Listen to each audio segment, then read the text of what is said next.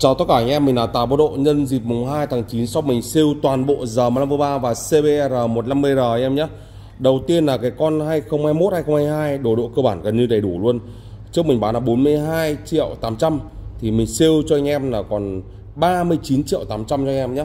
Một con vàng xám, cái màu này cũng rất là hiếm anh em ạ. Trước mình bán là 39 triệu 800 siêu cho em là còn 36 triệu 500 và con này đồ rất là nhiều full đồ em nhá. Bi cầu các thứ đầy đủ hết luôn này. Mình sẽ đi rất là nhanh thôi. Tiếp theo nữa là một con 2022 nữa.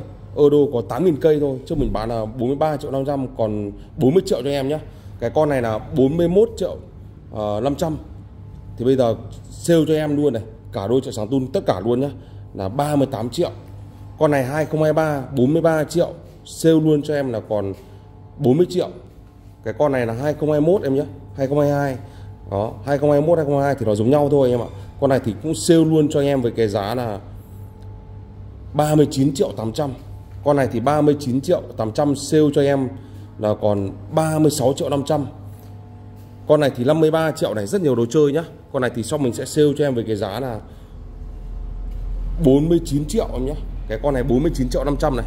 Hai quả bi cầu, hai bên này con này thì rất là chất luôn. Con này thì shop mình sẽ sale cho em là còn 46 triệu 500 con này là 30 à, sorry em con này là 48 triệu 800 sale cho em là còn 46 triệu em nhé con này 47 triệu 500 này.